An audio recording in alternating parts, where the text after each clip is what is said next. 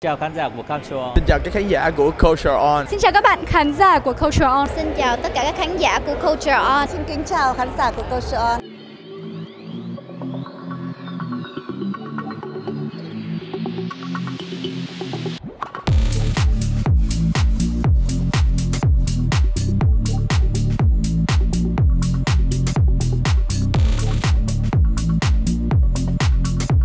Mình là Katie Nguyễn, hiện tại thì đang có mặt ở buổi ra mắt của bộ phim Gái già lắm Chiêu Vi thì ờ, uh, Katie đang rất là vui và hào hứng để cuối cùng sản phẩm của toàn bộ ekip đã được ra mắt với tất cả khán giả. Có một phân đoạn vô cùng đặc biệt. Đó là cái phân đoạn tôi ờ, chút tất cả cái ờ, niềm tâm sự của mình lên người tình trong bóng tối hơn 20 năm. Bởi vì anh ấy tôi sẽ không còn cơ hội gặp lại anh ấy nữa. Quý vị xem phim thì chắc quý vị sẽ biết người đấy là ai.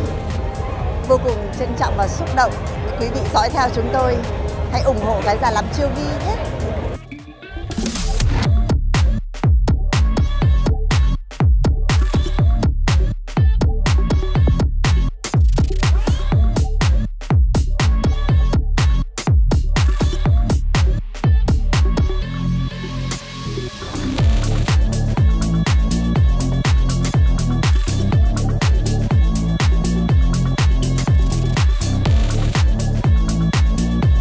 Phân cảnh mình đáng nhớ nhất đó là cảnh trên bãi biển với Kedy Đó là một cái phân cảnh mà ngày đầu tiên đến Huế mà mình được đi quay với Kedy Hai người là phải đóng cảnh hôn nhau uh, lần thứ hai.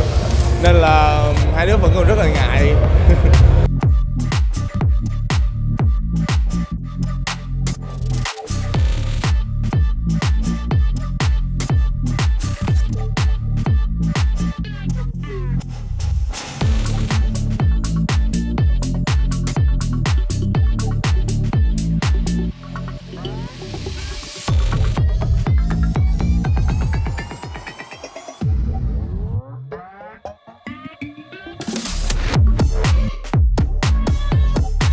Và trong bộ phim Cái già làm chiêu năm thì Trung Vũ có một vai diễn rất rất rất rất, rất là nhỏ xíu siêu thôi nhưng mà để mà biết được vai diễn đó là gì thì các bạn phải ra dạp xem xem phải tập trung xem vào xem là Trung Vũ sẽ xuất hiện ở giây thứ mấy nha.